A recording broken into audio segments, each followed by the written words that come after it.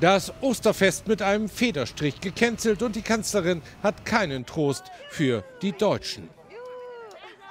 Normalerweise ist für die Menschen in Deutschland Ostern ja ein Fest der Familie, ein Fest, in dem man rausgeht. Und das wird in diesem Jahr und muss in diesem Jahr anders ablaufen. Ausgerechnet das höchste kirchliche Fest gestrichen. Die Kontaktbeschränkungen sind verlängert. Der Verzicht auf Privatreisen und Verwandtenbesuche ist gefordert. Tagesausflüge und Gottesdienste abgesagt. Gemeinden helfen sich derzeit mit Online-Gottesdiensten, versuchen so etwas Trost zu spenden.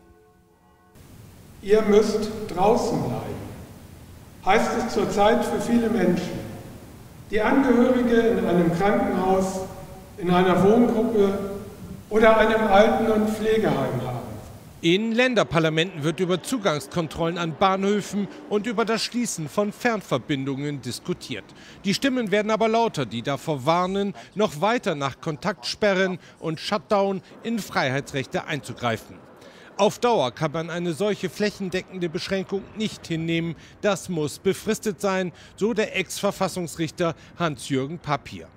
Doch Garantien, dass es jetzt nach dem anvisierten 19.04. alles wieder so wird wie zuvor, werden nicht gegeben.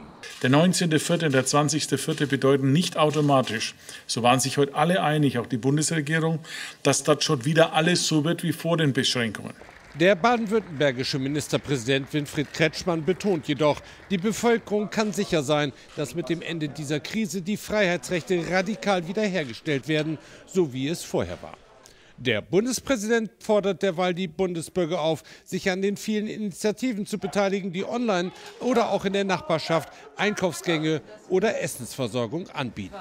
Wenn wir uns jetzt so richtig kennenlernen, dann zeigen wir einander doch das Beste in uns Zeigen wir Mitmenschlichkeit, zeigen wir Solidarität.